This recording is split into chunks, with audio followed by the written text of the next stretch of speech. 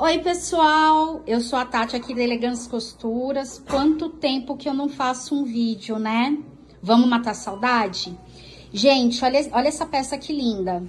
Uma saia midi, godê, de veludo. Espetacular, linda, linda, linda, linda. Cliente mandou pra gente tentar salvar, porque pós-Natal e Ano Novo, né, gente? As roupas encolhem e aí a gente precisa dar uma aliviada aqui. Como é um tecido muito exclusivo, nós não temos igual, igual para fazer esse essa nesga, né? Esse aumento nela. Como a gente não gosta de fazer nesga que fica aparente que fez, o que, que a gente sugeriu para cliente? Usar um couro. Essa é uma pelica, o tamanho, o, a cor dela, café, porém a sugestão da costureira foi que a gente usasse ela no avesso. Olha que contraste legal que vai ficar. Veludo e couro. E esse molde que vocês estão vendo aqui é um detalhe que a gente vai fazer na peça. Como se fosse uma prega.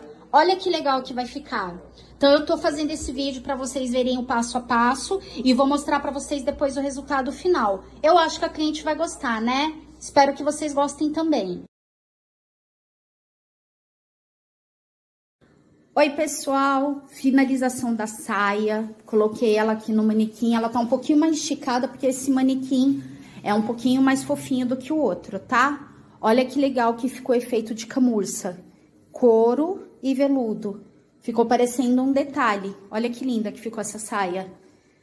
Ficou bem legal, né? Eu gostei bastante do resultado. E vocês? A gente conseguiu salvar uma saia de corte godê, alfaiataria de veludo, e o acabamento ficou parecendo realmente um detalhe.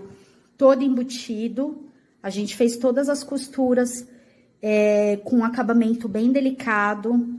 Olha que bacana que ficou.